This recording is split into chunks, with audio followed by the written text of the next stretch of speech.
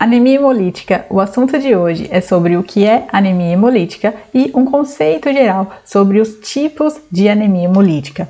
É importante dizer que nem sempre nas anemias hemolíticas a medula ela vai estar em hiperplasia, tá? Nem sempre a gente vai ter uma disfunção na medula por conta dessa anemia. Simplesmente pelo fato de que existem diversos tipos de anemia hemolítica e eu vou contar para vocês um pouco hoje sobre esses tipos. Para quem ainda não me conhece, meu nome é Thaís, eu sou biomédica, sou especialista em hematologia e na aula de hoje eu vou trazer um conceito geral, uma introdução sobre anemia hemolítica, que foi um assunto que foi sugerido por uma inscrita aqui que me segue lá no Instagram também. E se você também tem uma sugestão, você pode colocar aqui nos comentários, tá? Para mim saber o que vocês querem ver aqui no canal do YouTube. E como eu já ia dizendo, existem vários tipos de anemia hemolítica, tá? E a gente vai falar de anemias hemolíticas hereditárias e anemias hemolíticas autoimunes, tá? Hoje vai ser uma introdução para a gente começar a entender desde o início sobre, sobre o que é anemia hemolítica. Como o próprio nome já diz, anemia hemolítica quer dizer que acontece uma lise das hemácias, tá? Ou seja, ocorre a destruição das hemácias, que pode ser causada pela anemia hemolítica hereditária ou adquirida, tá? Não necessariamente nós vamos ter um problema na medula. Tá? Nesses tipos de anemia pode ser que a medula sim esteja com problemas de hiperplasia, a gente vai encontrar reticulocitose no sangue periférico, mas também pode ser que não, tá? Pode ser que a medula esteja muito tranquila e a gente não vai ver reticulocitose lá no sangue periférico. Se tratando de hemólise, a gente precisa entender, existem dois tipos de hemólise, tá? Que acontece. Então a gente fala de hemólise extravascular, que acontece fora do vaso sanguíneo, muito mais comum acontecer no baço quando a hemácia ela tem algum tipo de problema de membrana e aí ela fica deformada, então fica retida no baço. E também tem a intravascular, acontecem dentro dos vasos sanguíneos, dos capilares, enfim, né? E a gente também pode subclassificar a intravascular como de ação mecânica, de ação autoimune e também por fatores químicos, tá? Mas fica calmo que eu vou explicar tudo para vocês do que se trata cada tipo de hemólise, tá?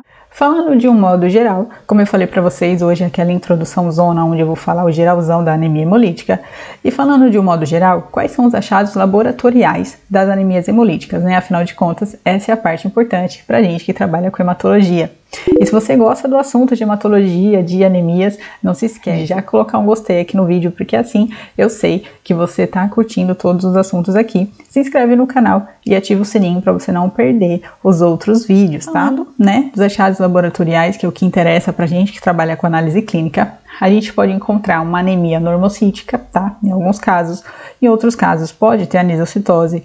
Outros casos pode ter policromasia. A gente vai ver uma diferença de coloração, reticulocitose ou não, como eu já falei para vocês. A gente pode falar de LDH alto e também de bilirrubina indireta alta, tá? Tudo bem que esses dois últimos aqui não têm relação com a hematologia, mas se você trabalha muitas vezes em um laboratório de urgência ou em um laboratório que é unificado, né, todos os setores, é importante você já saber isso daqui, porque aí quando você vê o exame do paciente, você já vai bater o olho nos outros índices também, tá? Ah, e por que que o LDH fica alto? Por que que a bilirrubina fica alta, Thaís? O LDH, ele vai ficar alto porque quando acontece a hemólise, quando acontece a destruição da hemácia, existe uma concentração alta de LDH dentro da hemácia. Então, quando acontece essa lise, essa destruição, esse LDH vai para o sangue periférico. Já no caso da bilirrubina indireta, ela é um subproduto tá, da lise das hemácias, então ela também vai estar tá alta lá no sangue periférico do paciente que tem esse tipo de anemia. Continuando aqui com os nossos achados laboratoriais, quando a gente fala de intravascular, Dentro do vaso sanguíneo, a gente fala de hemoglominúria. Então, a gente fala que a gente vai encontrar hemácia lá na urina. Se você for um analista generalista, então vai ficar muito fácil para você. Se você não for e você estiver com dúvida de liberar o seu hemograma, não tem problema. Espera um pouquinho, tá? Se for o exame de urgência, você espera um pouco sair o exame de urina, tá? Então, pergunta lá para a pessoa que está fazendo o exame de urina se tem hemácia na urina, tá? E também, quando a gente fala de extravascular, a gente fala de hemosiderinúria, tá? Que é quando a gente encontra aquela urina acastanhada. Tá aí o porquê que a gente tem que sim dar atenção ao exame de urina e colocar corretamente qual a coloração. Para quem aí já trabalha na área laboratorial, a gente sabe que muitas vezes a gente encontra a urina avermelhada e muitas vezes parece que já é o puro sangue, né, a urina. E outras vezes a gente não vê esse tipo de urina, né? A gente não vê a urina tão avermelhada, mas a gente sabe que tem hemácia ali porque ela tá de forma acastanhada, mais de coloração marrom mesmo.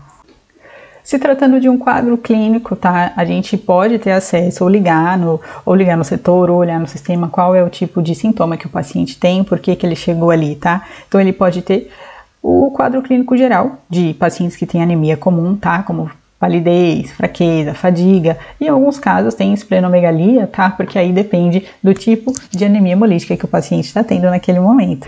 E existe um agravamento quando a gente fala desse tipo de anemia com certeza, tá? Então a gente fala que o paciente ele pode estar em crise megaloblástica.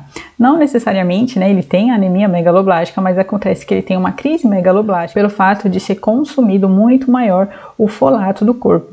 Por que isso acontece? É um sistema de compensação que o corpo se sente na necessidade de utilizar mais folato para poder produzir muito mais hemácias e aí ele não dá conta, porque acontece muita hemólise ele consome, ele consome o folato do corpo e o corpo não dá conta de produzir hemácias a tempo de acontecer a hemólise. E aí o paciente tem isso que a gente chama de crise megaloblástica. E em casos crônicos, tá? Pode acontecer que tenha cálculos biliares, tá? Como eu falei anteriormente, aumenta a bilirrubina indireta e aí pode ser que esse tipo de bilirrubina cause esses cálculos aí no paciente.